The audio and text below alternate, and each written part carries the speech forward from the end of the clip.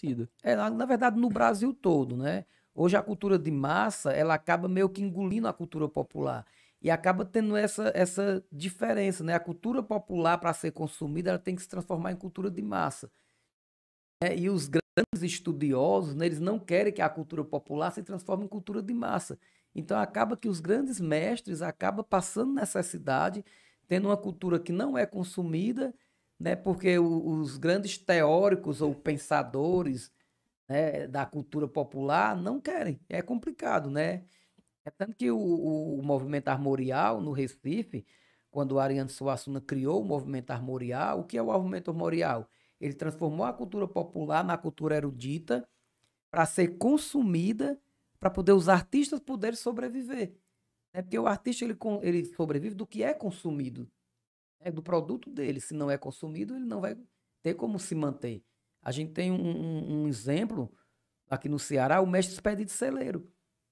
Ele conseguiu introduzir a cultura dele dentro de uma cultura de massa, né? Ela é consumida no, no mundo todo, né? As chinelas, as bolsas de couro, né? Do Expedição teve no São Paulo Fashion Week. Tá agora com exposição de produtos dele na Lapa, lá no Rio de Janeiro, né? E ele conseguiu, acho que é o único mestre que consegue se manter financeiramente através de uma cultura, né? É, enraizada dentro do popular.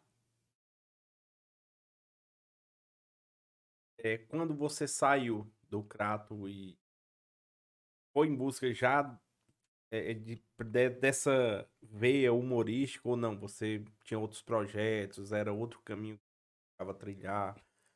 É, na verdade, o Crato, a gente tem, teve uma, uma, Nós, artistas, né, do Crato da década de 87 até 2001, né, 2000 por aí, a gente teve uma produção artística muito efervescente no Crato.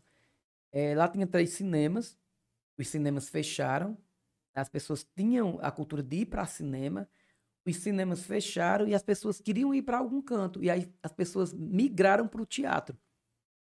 E aí a gente produzia muito teatro.